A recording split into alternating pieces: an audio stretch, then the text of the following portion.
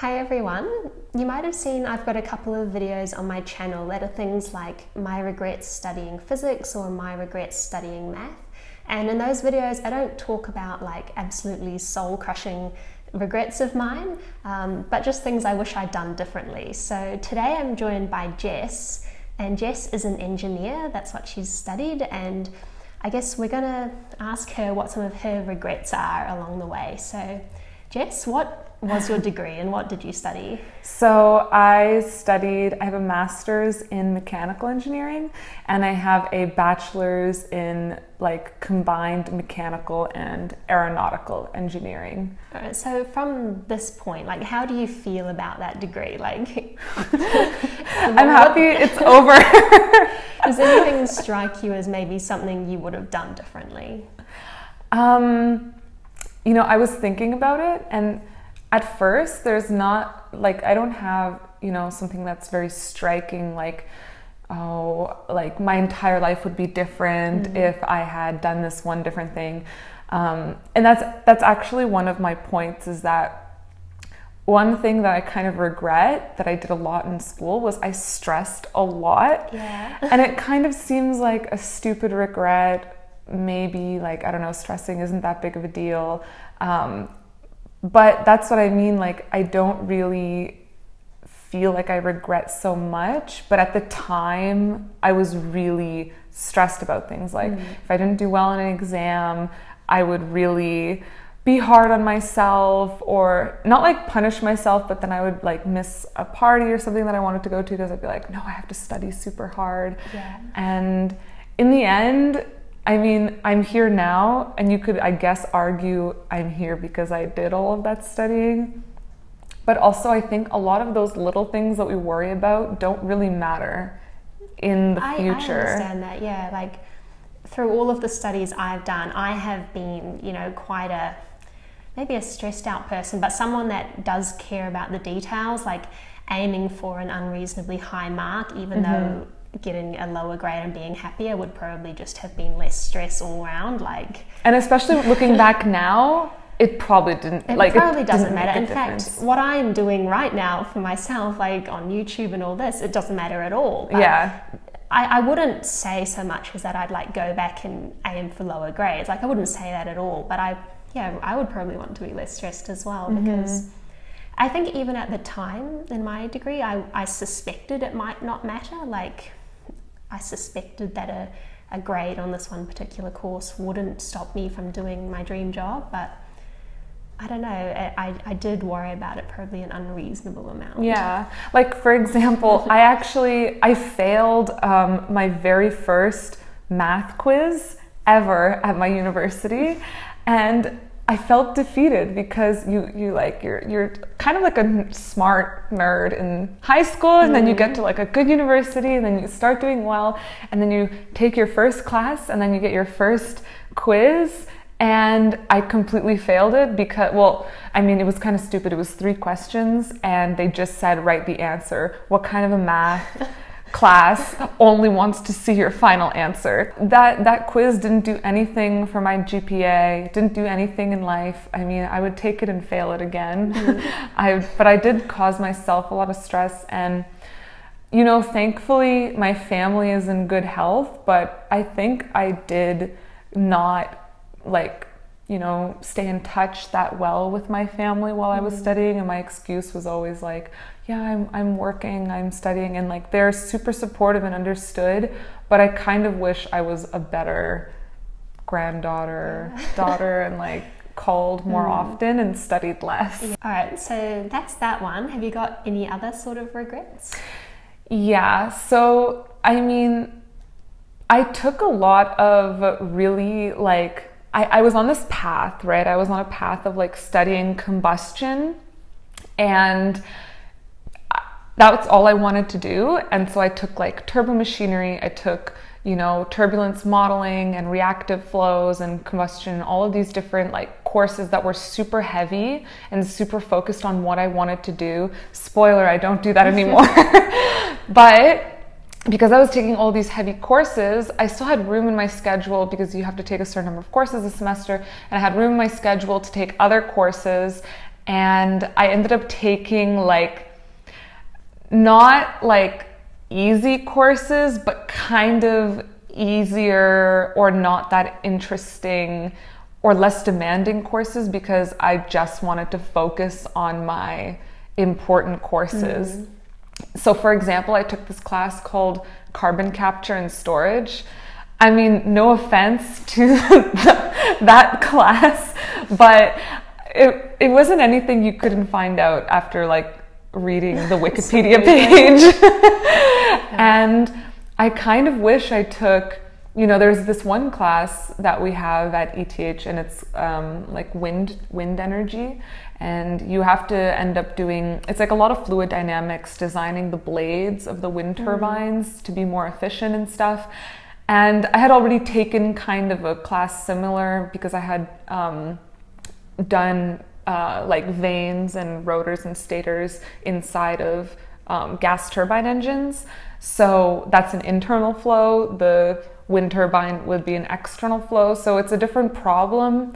But yeah, I was kind of like, oh, I don't need to take that class because I mean, I've already kind of done it and I'm not interested in that either.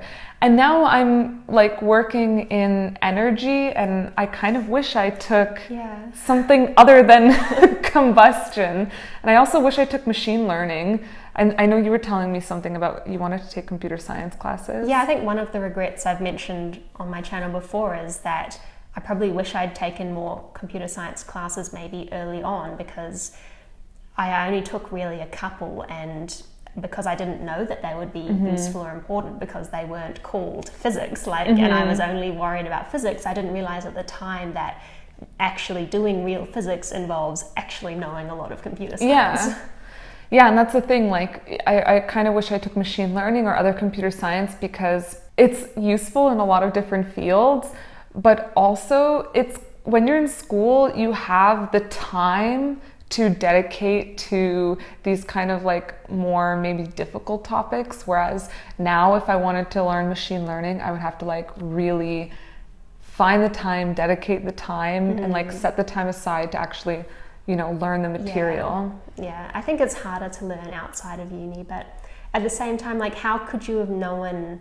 at the time that you didn't want to take that combustion course like mm-hmm. I, I, I struggle with this like how do you know exactly what courses you want to take because I do think you probably might end up doing some completely different subject and you didn't even take any of those courses um, and that happens quite a lot mm-hmm. but how do you know that beforehand like i don't know i guess the only advice would be to just take a bit of a variety of courses so that at least you've covered the bases of a few different mm-hmm. things yeah that's what I, I would do i would suggest taking a variety of courses and yeah, I, I think my regret is though like taking that carbon capture Just course. no, like yeah, like um, I also had to take a humanities course, mm. and I had taken what is science as my like philosophy course when I could have taken I don't know like um, history of math mm. or something really cool, but instead I, I didn't want to take a more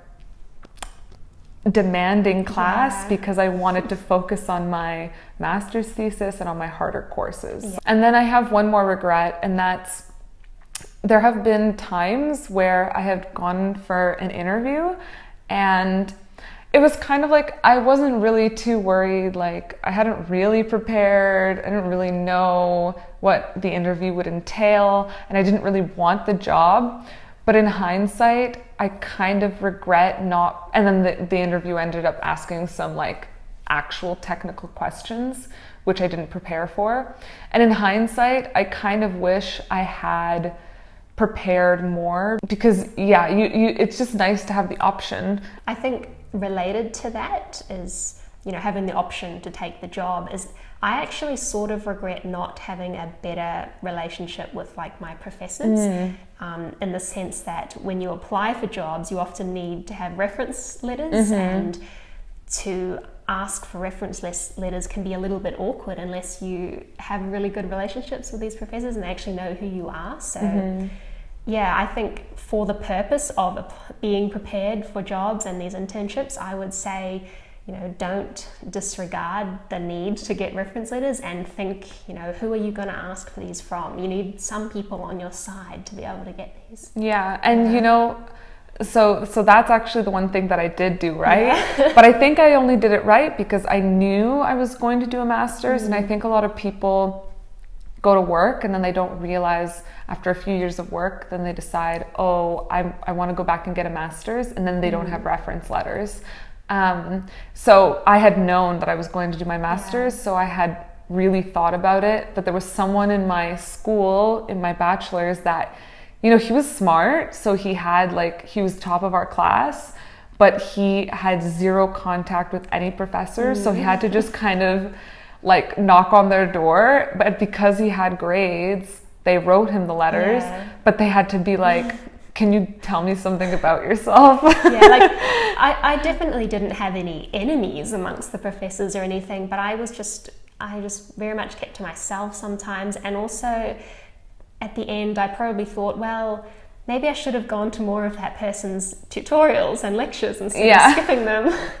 and just doing the problems myself because at the end of the day I would kind of like a reference from that person and I don't know it's it's not a big deal and I got reference letters and it was fine but yeah probably something I'd pay mm. more attention to do you regret skipping those the classes not inherently like I didn't skip them because I was like a really bad student I just skipped them because I thought that I could probably learn better on my own and sometimes that was the case like mm-hmm. sometimes I did if I just spent an hour reading the material or the textbook or whatever and working the problems myself, they'll probably be more productive than me just sitting there in the lecture, like just passively, like just just watching. So I don't regret it from that point of view, but it's probably not a good look. Like I yeah. said, if you want that professor to write you a reference letter. Mm-hmm. That's actually one of my regrets. I think I went to class too much. and I'm not saying don't go to class, but from my perspective, I'm a visual learner. Yeah. And so I need to either read um, the material or do the problems and like i agree i, I yeah. have to read it to understand it yeah whereas i think i've seen so many puppy photos on instagram from scrolling through my phone in class and in hindsight i think i would have saved myself a lot of time if in some classes i would have just done the work on mm. my own. Yeah, that I guess this is opening up a lot of thoughts for me about this topic. We could talk about this for ages, but I think yeah, I have memories of walking out of like physics lectures and some random friend I'd seen in the corridor from another class would be like, oh, T- Toby, like, what was that lecture you were just in? And I'd be like, oh, it was like physics. And they'd be like, oh, what'd you learn? I'd be like, I could not tell you. yeah. If, if, I had spent that hour just reading something relevant, I would have had a much better idea of what yeah. I was doing. So I think you know, you can definitely go to less lectures, um, but maybe find a balance between, you know, still being up to date with the work. Because I, I think by the end I did realize I didn't need to be at the lectures to learn, but I did like going to them for the sense of connection with my peers and to like find people to do the assignments with and mm-hmm. to have a relationship with the lecturer. Like, there's lots of other benefits of being there. Mm-hmm. Mm-hmm. And also for me, I had a fear of falling behind and then all of a sudden yeah. having like 12 chapters to learn for an exam. So going to the lectures kind of kept me like, okay, this is how much work I have to do before, or like, I, this is yeah. the knowledge I need to gain yeah. this week. Yeah, ideally you'd go to all the lectures and do all the work yourself, but if you're stretched yeah. for time, maybe you have to sacrifice one or the other. Yeah. yeah. All right. Thank you for sharing your regrets. Thanks for having me. and thank you guys for watching.